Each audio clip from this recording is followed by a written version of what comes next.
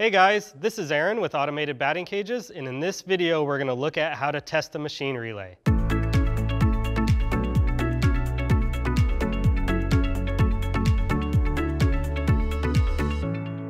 So your customer has dropped a token to start a game, the yellow and red light has come on, but the pitching machine motor will not turn on.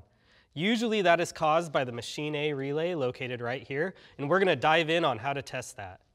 So what we're gonna do to test this relay is we're gonna grab our multimeter. And what we're gonna do is we're gonna set it to voltage AC, which is the V with the little squiggly line, and we're gonna set this up over here. Now to test this relay, the first thing we're gonna check for is to make sure that it is getting power.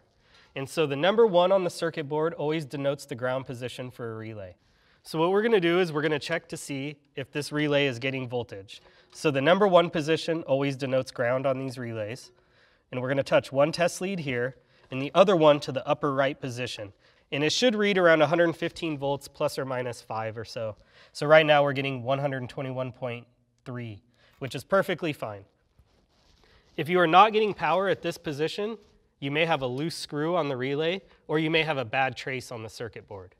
So the next thing we're gonna do is check and see if the controller, which is located up here, is sending power to the machine A relay to turn it on.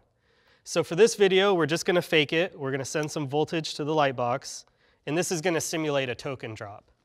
And so what we're gonna do next is change the multimeter to voltage DC, which is the V with the straight line up above it. Again, we're gonna use our number one as our ground. And this position on the lower left-hand side receives the signal from the controller. So right here, we should be seeing around five volts DC, and we're getting 4.3. So we know that the controller is actuating the relay. If you're not getting voltage there, what could be happening is we have a loose screw somewhere on the board, that's not supplying the voltage down to the relay, or we could have a bad trace somewhere, or the controller itself could be bad and not outputting the voltage to the relay. So the last thing we're gonna check for here is to see if the relay is switching on once the controller sends down the 5 volt signal to the relay. And to do that, we're gonna change the multimeter back to voltage AC, the V with the squiggly line. Now again, we're using number one is our ground screw. So the controller sends down 5 volts to the lower left-hand screw, and that tells the relay to turn on. After it does that, the relay should be outputting around 115 volts AC, plus or minus 5 or so, to the lower right-hand side screw.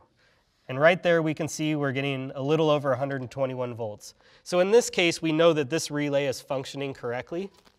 If you find during your testing that the machine A relay is bad, just give our parts department a call. They'll be happy to get you one on order. Thank you for watching this video on the machine A relay. Hopefully it helped you troubleshoot your issue, and we'll see you on the next one.